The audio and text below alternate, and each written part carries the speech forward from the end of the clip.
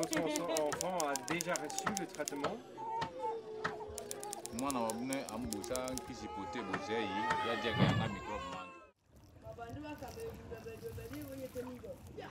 Nous sommes ici dans la forêt tropicale, au nord-est de la République du Congo, sur le territoire des Pygmées.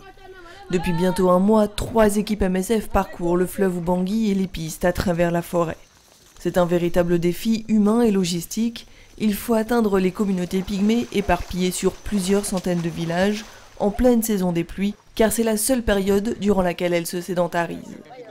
Le but est de soigner et de tenter d'éradiquer une maladie oubliée de tous, le pion, qui sévit parmi les populations isolées aux mauvaises conditions d'hygiène.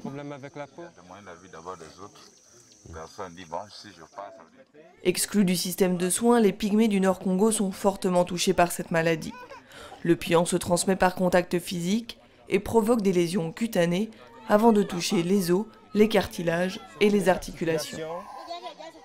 On a un moyen simple de la traiter et de l'éradiquer avec une azithromycine, un médicament qui se donne en dose unique et euh, qui a une très bonne efficacité, une très bonne tolérance, un médicament qui est connu depuis longtemps, qui est sûr, qui permet justement d'éradiquer cette maladie chez une population qui est difficilement accessible d'habitude par les différents services de santé.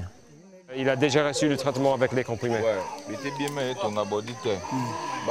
MSF est intervenu au mois de septembre pour distribuer ce médicament avec pour objectif de traiter une population de 25 000 personnes. Dans un mois, elle retournera dans les villages pour mesurer l'efficacité du traitement et soigner ceux qui ne l'ont pas été la première fois.